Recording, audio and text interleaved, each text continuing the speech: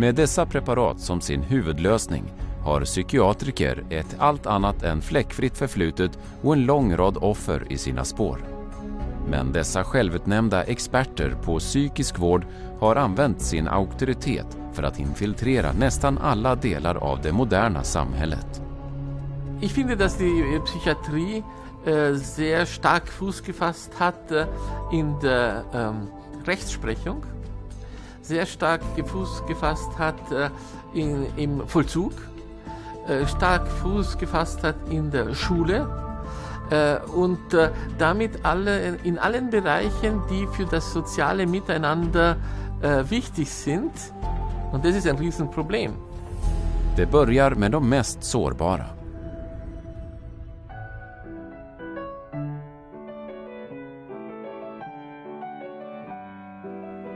Våra barn.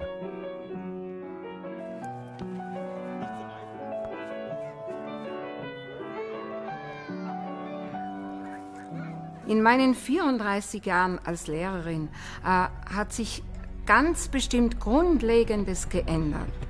Äh, und vor allem eben immer mehr und mehr im Laufe der Jahre äh, wurden äh, die viel zu schnell die Kinder falsch diagnostiziert. Äh, weil sobald äh, die Kinder irgendeine äh, Unregelmäßigkeit zeigten wurde äh, sofort zum Arzt gegangen und der verschrieb irgendein äh, Psychopharmaka, das auch eben äh, den Kindern gegeben werden sollte, damit sie unter Anführungszeichen ruhiger werden sollen. Det var tidigt på 1960-talet som den amerikanska psykiatrikern Leon Eisenberg hävdade att normalt beteende hos barn, såsom rastlöshet och ouppmärksamhet, var tecken på ett psykiatriskt syndrom som senare kom att kallas Attention Deficit Hyperactivity Disorder, eller ADHD. Han hade förstås inga medicinska bevis, inga blodprov, röntgenbilder eller hjärnundersökningar som visade en riktig fysisk sjukdom. Men det har inte hindrat psykiatriker från att påstå att över 74 miljoner normala barn världen över är psykiskt sjuka och lider av ADHD. En siffra som nästan motsvarar hela Tysklands befolkning. Och med tiden har diagnosen krypit ner i åldrarna.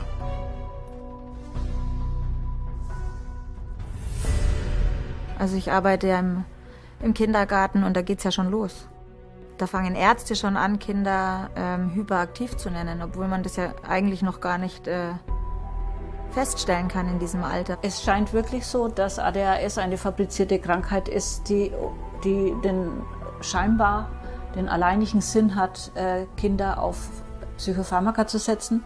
Ich, äh, dass äh, die Behandlung eines Kindes mit einem Medikament beginnt, dass das Kind mit Nebenwirkungen zeigt und diese äh, Nebenwirkungen dann mit dem zweiten bzw. dritten äh, Psychopharmakan äh, bekämpft werden müssen und werden. För närvarande tar 400 000 tyska barn psykofarmaka och internationellt är den siffran betydligt högre, 20 miljoner.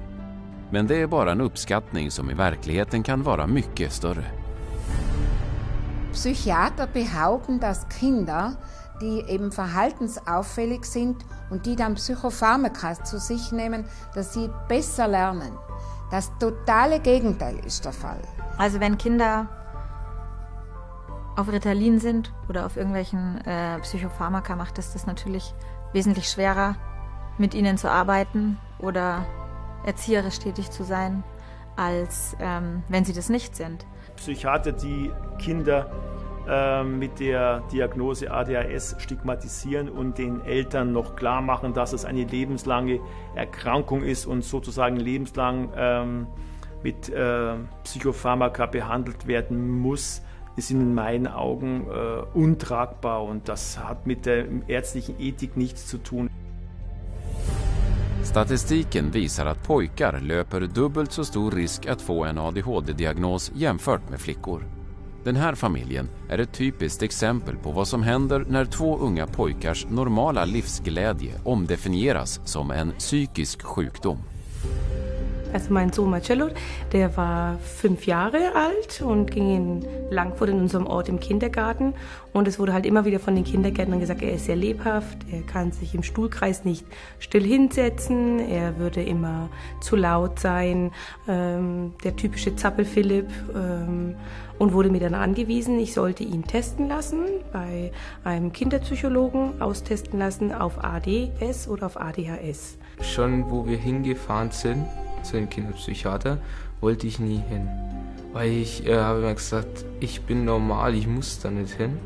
Aber äh, der Kinderpsychiater hat mir immer, also die haben mir halt immer gesagt, ADHS, ich habe das, es muss halt so therapiert werden. Bei meinem Sohn wurde diagnostiziert ADHS mit der Diagnose dann, dass er Menthylphenidat nehmen darf. Ähm, es fing an mit 5 Milligramm. Da habe ich schon gedacht, mein Gott, ich bin anders als die anderen. Und wieso muss das gerade ich sein? Ähm, und das war halt schon schlimm, weil ich wollte so sein wie der andere Junge in meinem Alter.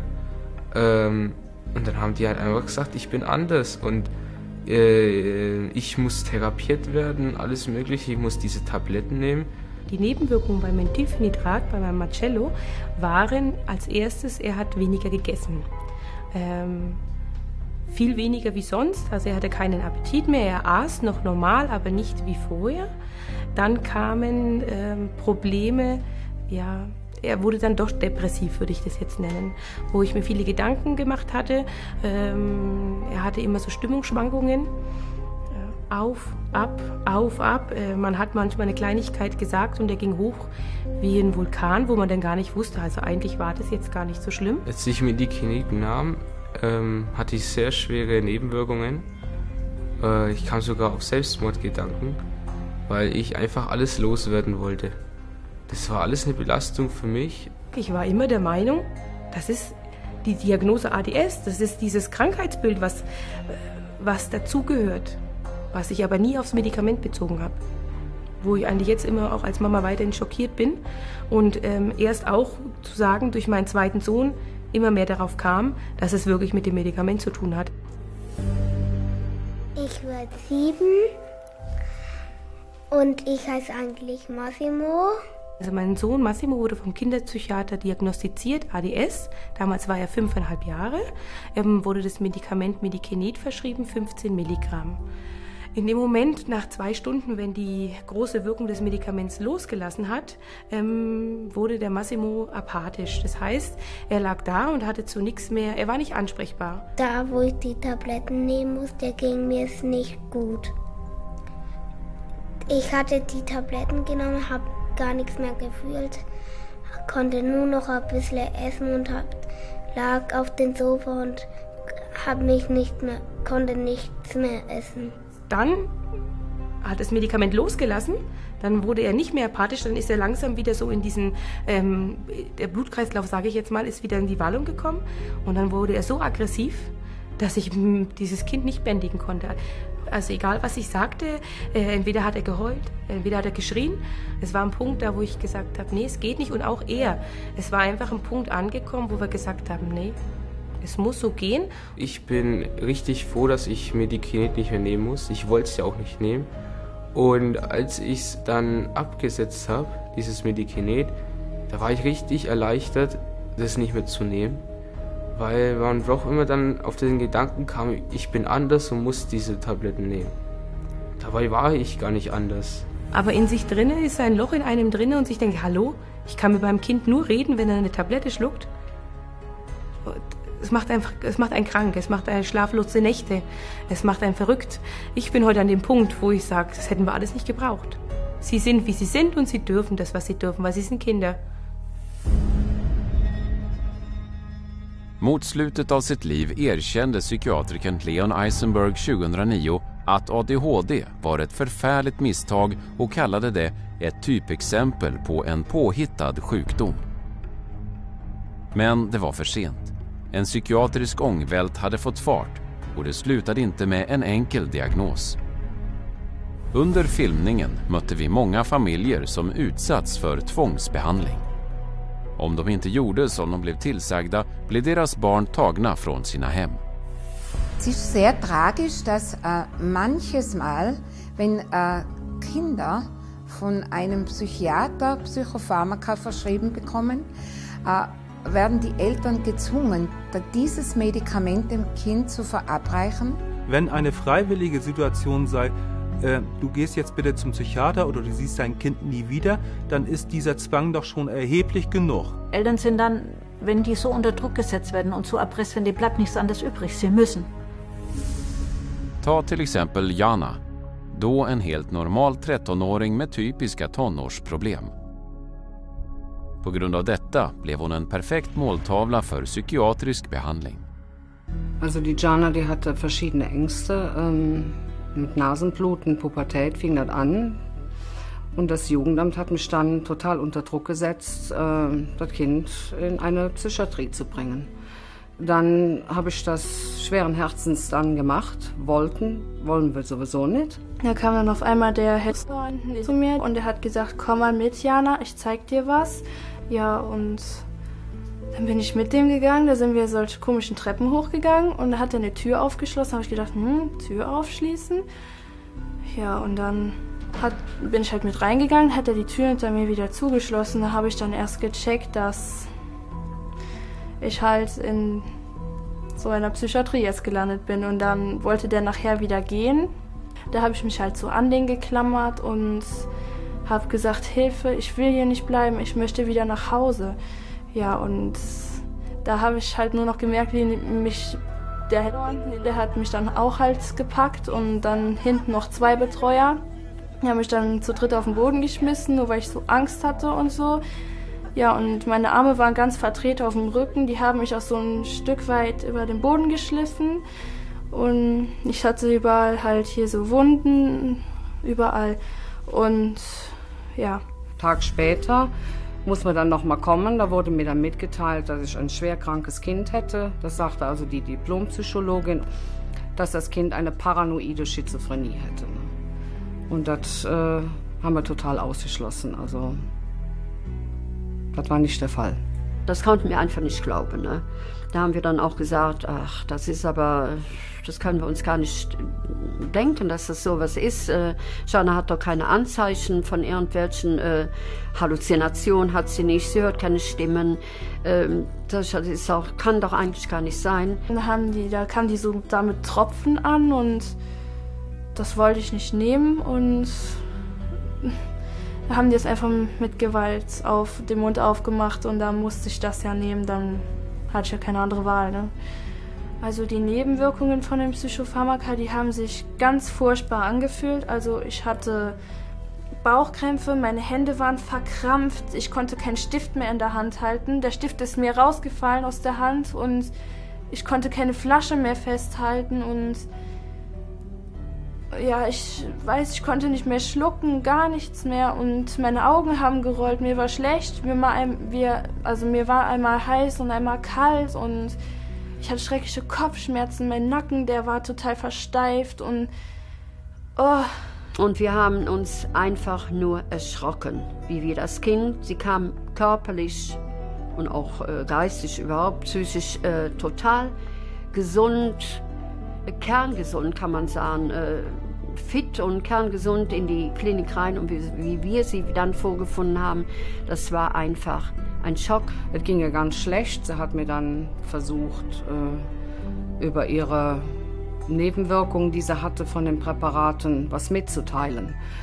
Das durfte sie aber nicht, weil direkt ein Betreuer neben uns, fest neben uns, praktisch schon auf uns gesessen hat und hat mitverfolgt, was wir dann so sagen wollten. Das durften wir nicht, sonst wäre sofort der Besuch abgebrochen worden. Ich glaube, weil sie Angst hatten, dass ich verrate, wie hoch die dosiert sind. Ich hätte es bei einem Besuch einfach rausschreien sollen, aber ich, hat, ich war halt unter Drogen, sage ich jetzt mal, durch die Tabletten halt. Ja, da konnte ich das irgendwie nicht. Da war ich die Jana besuchen und ähm, da rief mich diese Diplompsychologin, die Frau Schaffer, ins Büro und äh, legte mir da so einen Vertrag auf den Tisch und den soll ich unterschreiben. Das hieße, wenn die Jana nochmal mit mir über ihr Unwohlsein spricht, sprich äh, diese Tabletten, diese Psychopharmaka, die sie da bekommen hat, dann würde sie die gelbe Karte bekommen. Würde sie das wiederholen, dann würde sie die rote Karte bekommen und dann würde der Besuch gestrichen. Und dann hat sie zum Schluss gesagt, wenn Sie das nicht unterschreiben, dann lasse ich Ihnen das Sorgerecht entziehen. Und das ist auch der Fall gewesen. Drei Tage später habe ich mein Sorgerecht per Gerichtsbeschluss verloren. Also Selbstmordgedanken hatte ich vor Psychopharmaka noch nie. Aber als ich diese Psychopharmaka bekommen habe, da habe ich mir halt die ganzen Arme hier aufgeritzt, alles, alles aufgeritzt. Aber jetzt weiß ich gar nicht mehr, wieso ich das getan habe. Also die Tabletten haben total eine Gehirnwäsche verursacht. Also das war ganz schrecklich. Ganz schrecklich. Für mich hat die Psychiatrie überhaupt keinen Wert. Das ist einfach alles ganz furchtbar da. Ganz schrecklich. Würde ich keinem weiterempfehlen. Niemand soll in eine Psychiatrie kommen. Niemand. Bara några veckor efter den här intervjun togs Jana från sitt hem och förlorade rätten att träffa sin familj. Det är inte bara med falska diagnoser åt barn som psykiatriker förstör familjer. I länder över hela världen kan även föräldrar få falska diagnoser, förklaras vara bristande i sin omsorg av barnen och förlora dem. Faktum är att idag, precis som under aktion T4 med sina inskrivningsformulär, kan du eller dina barn till och med få en diagnos om en psykisk sjukdom av en psykiatriker som du aldrig mött. Och hans utlåtande kan vara baserat på påståenden från en hämndlysten granne eller en hälsoundersökning i skolan. Om du tror att det här inte kan hända dig blir berättelsen om Fellis och hennes söner en allvarlig tankeställare. Das Münchhausen bei Proxy seine, soll eine Diagnose sein, wo Mütter ihre Kinder schwer misshandeln, um Aufmerksamkeit auf sich zu erregen. Diese Diagnose wurde bei mir per Ferndiagnose gestellt von dem Psychologen, von dem damaligen Leiter der Kinder- und Jugendpsychiatrie in Essen. Der hatte mich nie kennengelernt, der hatte mich nie gesehen und der hatte diese Ferndiagnose gestellt über mich. Sondern nur einfach zack, zack und man konnte ja auch gar nicht reagieren. Die Kinder wurden ja auch aus den Schulen entführt. Ich war ja sehr aufgebracht natürlich auch, weil ich kannte die nicht und ich wurde einfach in deren Arme übergeben und habe geschrien, geweint äh, bis zum geht nicht mehr. Und dann sagte der Mann zu mir, wir müssen Ihnen mitteilen, Mert und Jem Erfurt kommen nicht so in zu Hause. Die wurden zwangsweise in die geschlossene Psychiatrie der Universitätsklinik Essen eingeliefert. Mir sind auf jeden Fall Medikamente gegeben worden äh, während dessen Aufenthalt. Also ich habe tatsächlich nach äh, Medikamenteneinnahme äh, mich jetzt nicht gefesselt gefühlt, aber schon irgendwo handlungsunfähig.